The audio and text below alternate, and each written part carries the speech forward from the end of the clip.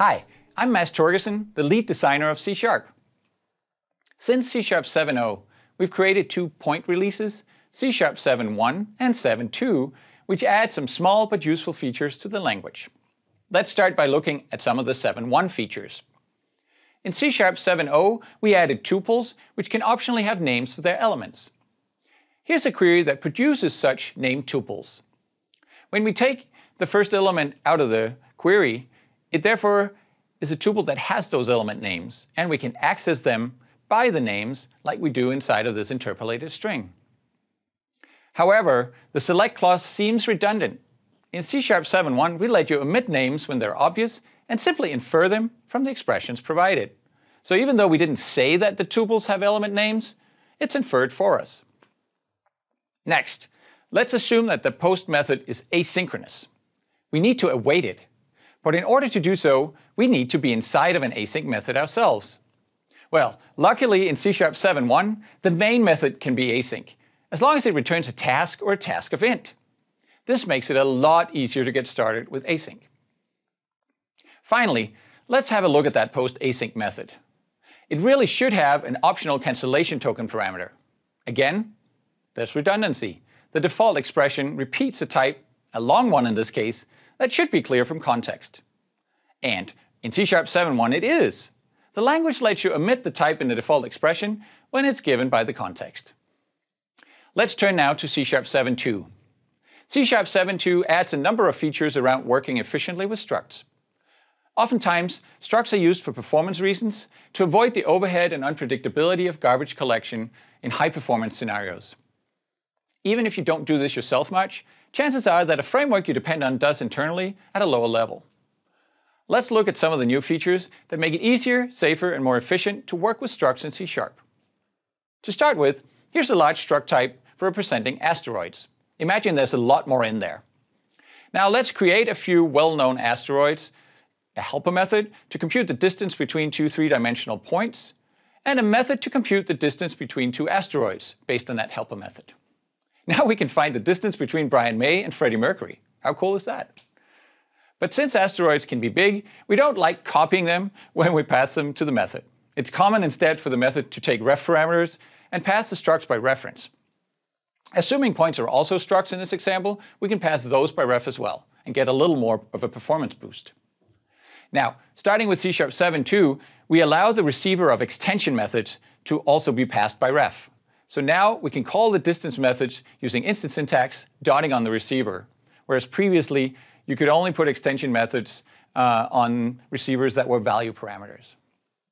One problem with ref parameters, though, is that they allow the method to modify the original struct value. That's not always what you want. The caller may not want to entrust the method with this ability, and if the argument structs are read-only, then it won't even work. So for this reason, we've added a new parameter passing mode to C Sharp, namely in parameters. In parameters, they're like ref parameters, except that they are read-only inside the method and they cannot be modified. So they're kind of the opposite of out parameters, really. Out parameters are required to be modified by the method, whereas in parameters are required not to be modified by the method.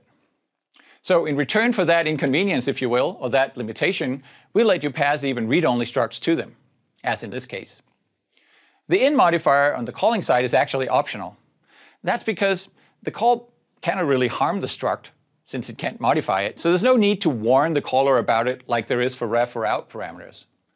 Apart from avoiding an expensive copy, the call is nearly indistinguishable from a normal call by value, so we like to use that same syntax. And actually, for that reason, we don't even require the argument to be a variable. If you pass a computed struct value, such as, as a fresh asteroid here, then the compiler will automatically allocate a temporary variable for it and pass a reference to that.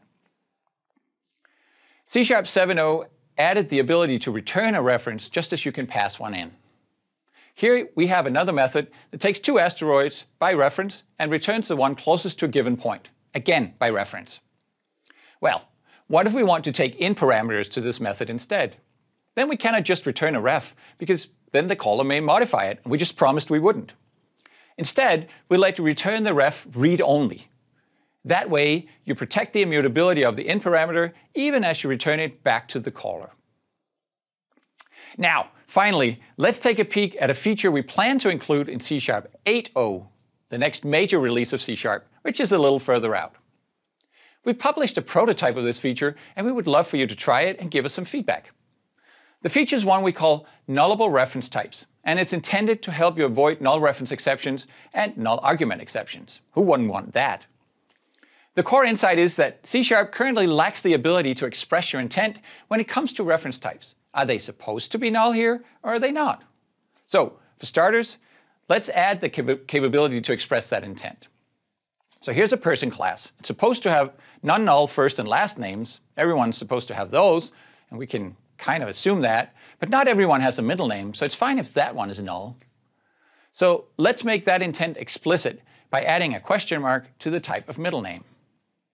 The question mark doesn't really mean much in a language sense, other than it expresses your intent, kind of like a comment maybe. But if you have a question mark, you're intended to be nullable. And if you don't, you're not intended to be null. So the expressiveness of the intent is now there. But now we also offer you a set of warnings that you can turn on, and that will help you behave according to the intent that you expressed. So now all of a sudden it starts helping you out. When we turn the warnings on, we find that there's a problem with this class. The default constructor does not initialize the first name and last name, so they will remain null, which is their default value, after the object is created. But they're not supposed to be null. We didn't put question marks on them. We can fix that problem. I guess we could put question marks on them, but we can fix that problem by initializing them to some non-null value like uh, the constructor here does. Um, how exactly do we know that it's initializing the two fields to non-null values? Well, those don't have question marks on them either when they come in as parameters. So the whole thing just uh, kind of tracks through. So now the class is all right. Let's look at a method that uses it. It does have a bug in that it made a reference a null middle name. So let's see how the feature helps find and fix the bug. First, it's going to warn us that it's assigning the nullable middle name of the person to a non-null local variable. We can fix that just by adding a question mark to the type of the local variable as well, making it nullable. So now the assignment is fine, nullable to nullable. But now we get a warning that we may be dereferencing a null value. The compiler won't let you dereference a nullable reference unless you convinced it somehow that it's not actually going to be null at the point of dereference. So how can you convince it of that?